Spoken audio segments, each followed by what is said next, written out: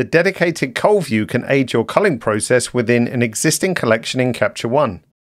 Photos can be automatically sorted into groups based on similarity, helping you quickly select the best photos.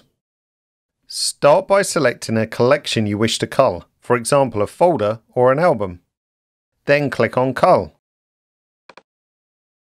If you have many similar photos, check Enable Groups. This automatically sorts them into similar groups based on content. The number of similar photos is indicated here for each group.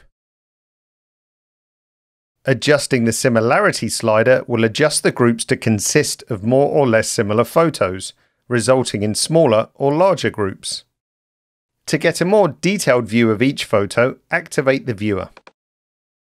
It's the most efficient way to cull large batches of photos. The viewer also makes it possible to view the photos in a reasonable size for making any decisions. I can zoom to 100% with a simple double click or add a color tag and star rating. Groups are now presented on the right hand side. The number of photos in each group is shown here.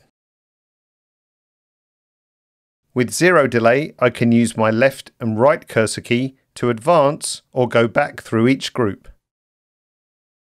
Using the up and down cursor key advances through individual photos within each group. Consider using your shortcut keys for adding ratings and color tags.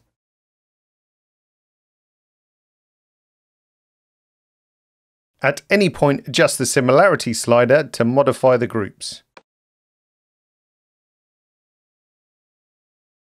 The Filters tool can be used to further filter the available photos in the cull view.